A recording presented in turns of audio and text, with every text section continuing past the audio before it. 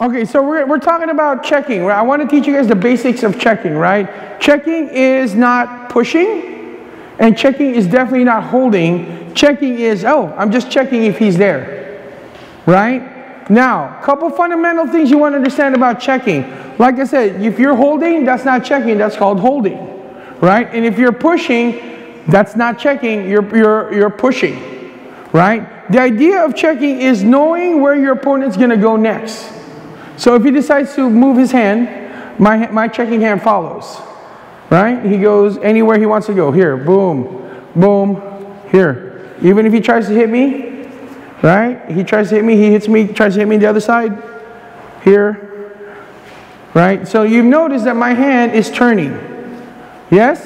Everybody's noticing that? Okay, again. So he tries to follow me with a stick.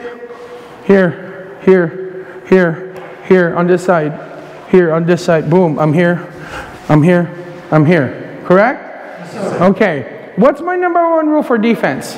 Don't be there. Don't be there, right? So, another aspect of checking is if he's aiming for me here, I'm not going to be here. Right? So again, we're talking about the checking. He wants to strike me here, I move out of the way. Then he's going to try to strike me the other side, I move out of the way. And he strikes me again, try to hit me a high, I, got, I get out of the way, right? So I can close my hand for a split second, but I'm not going to hang on to it forever, right? Because what ends up happening, grab my stick, don't let go. Right, we're just going to do this. We're doing tug of war. That's not FMA, thank you. Right, we want to be able to, to check here, here, here, and here.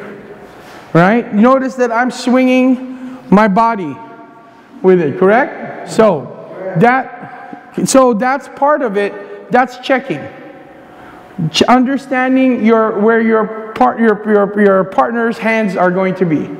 Right? So what I want you guys to do is just one person is feeding and your job is to continue to stay contact with with your training partner.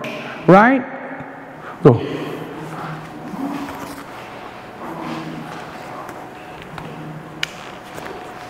Okay? And then when you do that, you switch. Oh, stick on your shoulder. He checks me, right? Here. Here. here. Here. Here. Okay? Right? That's what I want you guys to do. Just try that for now, all right? Thank you.